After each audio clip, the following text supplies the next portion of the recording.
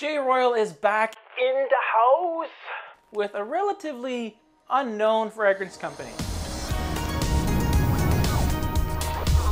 Welcome to J Royal, everyone.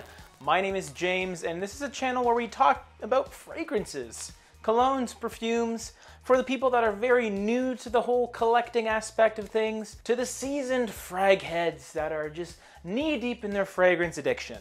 This series is about showcasing fragrance houses that I don't necessarily talk a lot about. They're fairly new to me, and I wanted to introduce them to my audience as well. They're a fairly established niche fragrance house from Paris. They started back in 1975 and they've been going ever since. I'm of course talking about Le Jardin Retrouve. Now luckily being part of this fragrance community and being a YouTuber, the guys over in Paris, they sent me seven samples of their fragrances just for me to try. There was no expectation for me to review them or really give my thoughts on camera, but I decided to do it anyway. What I've been doing is I've been testing these fragrances. I've been wearing them, rotating them, re-wearing them in different conditions, and I feel I have a pretty solid understanding of them on my skin. What I can say is of the seven fragrances, I was pretty pleased with all of them. They're all very pleasant fragrances, but some of them just weren't for me. They didn't work on my skin for whatever reason. I've split them off into three fragrances that I just wouldn't buy, three fragrances that I'm on the fence about, and one fragrance that I'm crazy about. And although this isn't technically a list video, I'm gonna turn it into one. My number seven, Le Jardin Retrouve fragrance. Retrouve. Retrouve. The number seven fragrance on this list is... Oh, hell no. Oh my god. Tuberose Trianon. Tuberose Trianon. I'm Canadian, but I'm not French Canadian.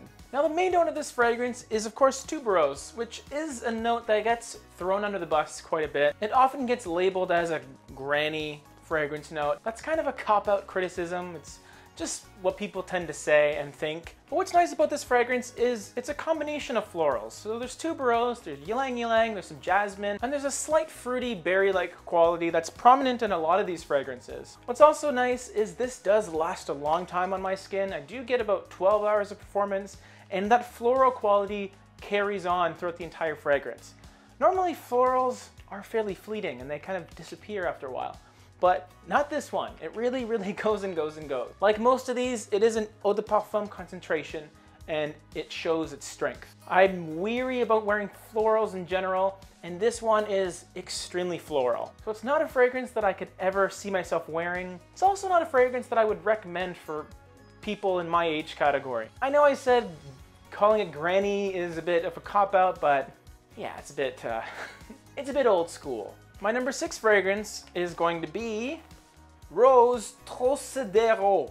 Really hope I'm pronouncing that correctly. I really like this fragrance. I thought it was very interesting because it wasn't just your standard Rose Absolute fragrance, it's supported by black currant, and I love that. It also feels like a rose flanker of Kiehl's Original Musk because it does have a very clean musky quality that really melds extremely well with the rest of the fragrance. It is a beautiful composition that performs very well, just like the last one, and it's one that I kept wanting to smell over and over and over. But that being said, I wouldn't buy a bottle of it personally because it doesn't suit my personality whatsoever. There's only a few rose fragrances that I would proudly wear on a regular basis, and I'm very cautious when I'm considering another one in my collection. This is one that I think you should check out if you do like rose. This one delivers, and especially for my women out there, really good stuff. The next fragrance on this list, at number five, is Eau de Délices. Now, I would argue that this is the easiest fragrance to wear in this entire sample pack that I got. It is your classic gentleman cologne style of fragrance. That slightly green citrus quality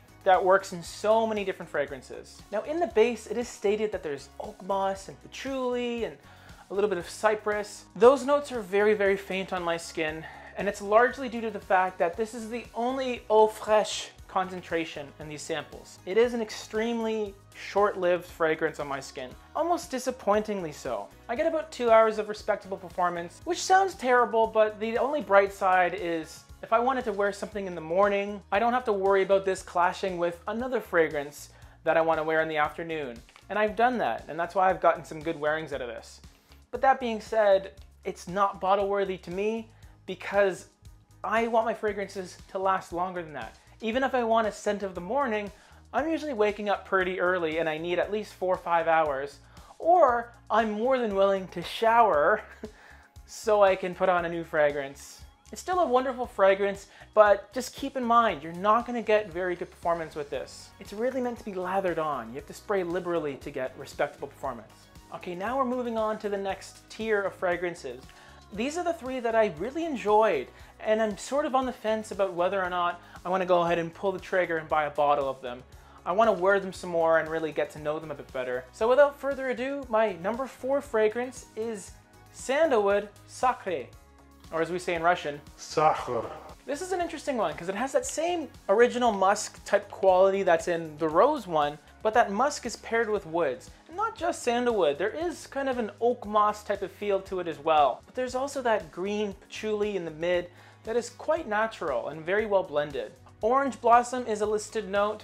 I don't necessarily get that. If anything, there may be a touch of that same orange that's found in Terre d'Hermes, but I mainly think it's just a little bit of the coriander mixing with the musk to give that sort of fresh, slight stinkiness. I love the scent profile of this one quite a bit. It's not a huge projector, although the longevity was respectable. I did get six, seven hours. What's nice about soft projection is I didn't really feel paranoid about wearing this in my Uber. You're not going to offend people because it does smell cozy and fairly natural. It doesn't smell like a fragrance that you would choke on because it's too alcoholic, but it was just a little too low key for me. Next up we have Cuir de Russie. Russie. Russian leather. Great. Now what's interesting about this fragrance is it doesn't smell like a lot of leather fragrances I own. It's definitely animalic with its use of styrax, but it's softened with some woodiness and almost a slight gourmand-like spiciness. I do get cinnamon in here. It does feel very fall friendly, very festive. It does have that wonderful violet note intermingling with the other notes, which does make it very masculine friendly. I do like the way this one smells. It does have a coziness, and even though it's animalic, it's still inoffensive, and it's something that you can confidently wear indoors and outdoors. And that's a big plus. It almost smells like a toned down version of a zoologist. fragrance. It does have that very slight DNA similarity, but being French, it's just a little more light and pleasant. But it isn't one of my top ones, only because it feels like it's caught in between two ends of the spectrum, where it's trying to be bold and animalic and masculine, but still delicate, which could suit someone's personality perfectly if you have that inner dichotomy. But I'm almost on the mindset that if I want to smell animalic, I'm gonna go full animalic. but a really interesting fragrance and something that the leather fans and the animalic fans will really get a kick out of. Really got a kick out of them, dude.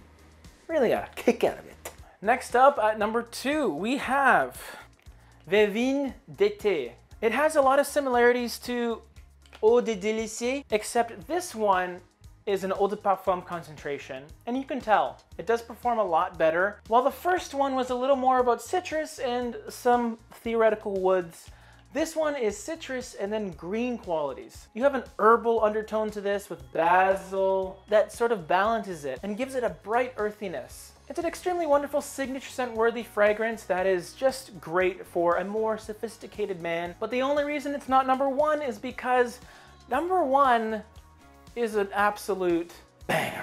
And finally, my favorite, Les Jardins Retrouvé fragrance is Citron Boboli. According to the notes, Italian lemon is at the front. There's also bitter orange and petitgrain and galbanum. And interestingly enough, a little bit of black pepper and cloves. Now don't be scared, cloves is definitely a note that can be overdone and it can really overpower a fragrance, but it is just sprinkled in perfectly in this one. What you're left with is a wonderful citrus dominant fragrance, but it isn't your basic tart lemon bomb. The use of citron is flawless, and when it's combined with the petitgrain, it almost gives it a candied lime type of feel. And the use of black pepper and cloves gives it a little bit of a culinary vibe. So lime in a culinary setting, to me, if Allure Homme Edition Blanche is lemon meringue pie. This has a tiny bit of a key lime pie type of feel. Although it's not quite as creamy as Edition Blanche with its use of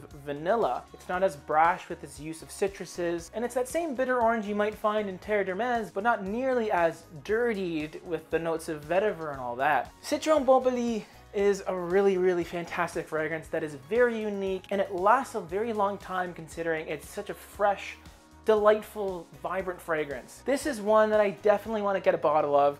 I think it's absolutely worth getting. Please, if you like fragrances that are very unique, but still fresh and zesty and citrus dominant, this is one you must check out. I want to thank Le Jardin Retrouvé for all these samples. It has been an absolute pleasure trying these fragrances out. I encourage you all to check them out. You can get a sample pack like I did. It was packaged beautifully, hand woven wrap with a personalized card. Just, you can really tell the care this company puts into their fragrances. I like them, but you know what, that's just my opinion.